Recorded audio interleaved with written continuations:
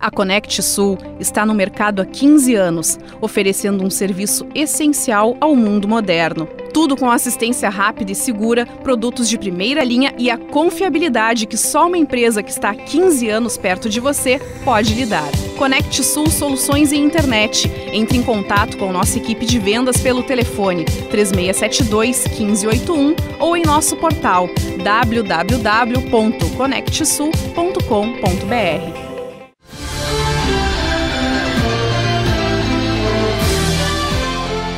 Nesse domingo, a IAPT, Associação dos Idosos, Aposentados e Pensionistas de TAPES, a IAPT, estará recebendo o senador Paulo Paim, que virá conversar com a entidade, com os membros da diretoria, enfim, com os representantes da entidade, num almoço que será realizado na sede da entidade. Eu estou aqui com o seu Jorge Oliveira, que é o presidente da IAPT, e a Solange de Oliveira, que é, secret... é, que é tesoureira né, da associação. Com relação a esse encontro que ocorrerá sábado, uh, domingo, ao meio-dia, o que está sendo previsto, seu Jorge? Como é que está o que está sendo programado para se conversar com o senador? Certo.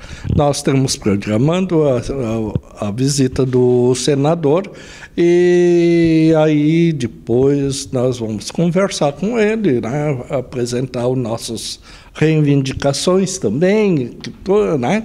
e vamos apresentar ao nosso público, que quase sempre é pessoas idosas e aposentadas, que será o encontro do, da terceira idade aqui em TAPES, ali na sede da IAPT.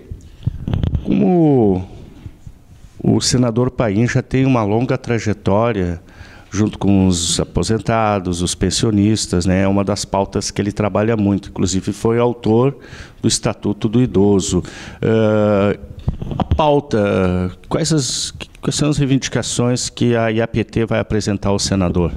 Não, nós queremos que, assim que seja, além do que já foi feito, o Estatuto e outras uh, decisões, que ele nos dê mais apoio a gente, que para a gente estar tá no âmbito aí, né, do...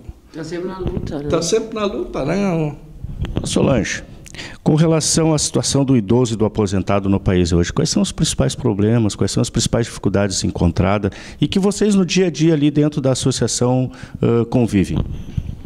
O idoso e aposentado ele tem bastante dificuldades assim uh, uh, no caso do salário né? E tu sabe que o idoso ele usa muito medicamentos. E o salário deles não é lá aquelas coisas e aí tem luz água gás alimentação mais medicamentos. Mas uh, até tem né seu Jorge as farmácias dá desconto né e coisa assim. Mesmo assim, eles têm bastante dificuldades. Este domingo, então, a presença do senador Paulo Paim numa atividade da. Que, que, que o senhor deixasse aí? aí. Na, na, temos assim, ó, fizemos assim, um grande baile AIAPT, né? com música ao vivo, o conjunto RJR, que é lá de Mariana Pimentel, né? venha dançar conosco. Estamos tá? aí. Isso é de tarde um grande baile do, da IAPT. 14 horas. 14 horas. O almoço com a diretoria, vai ser mais com a diretoria. É, Para conversar com o senador. Isso.